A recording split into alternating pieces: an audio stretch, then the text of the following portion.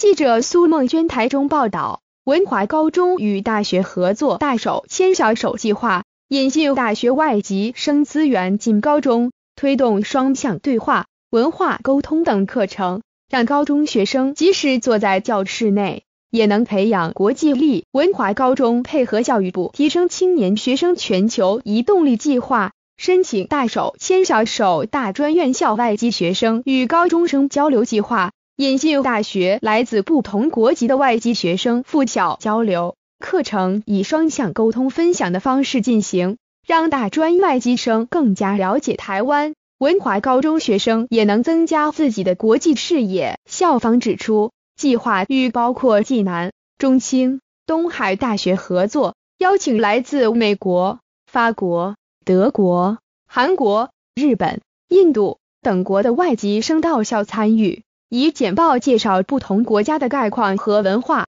校方指出，课程利用周会或让各班教师自行登记参与。参与的大学外籍生不少来自非以英文为母语的国家，透过各具国家特色腔调的英语，一样能跟高中学生对话。这也让学生体会未来地球村时代，可能也会面对来自不同国家的民众的世界性英语。要学习沟通无碍。除语言文化交流外，来自不同国家的外籍生均会准备故乡味跟文化学生分享。来自印度的外籍生教做拉茶，来自泰国的外籍生则教做凉拌青木瓜丝和泰式奶茶等。文华学生也有任务，学生简报介绍台湾的节庆、流行文化和台中的私房景点等，让外籍生认识在地。更有学生设计小游戏教印度外籍生写中文姓名等。参与学生指出，透过大手牵小手的课程活动，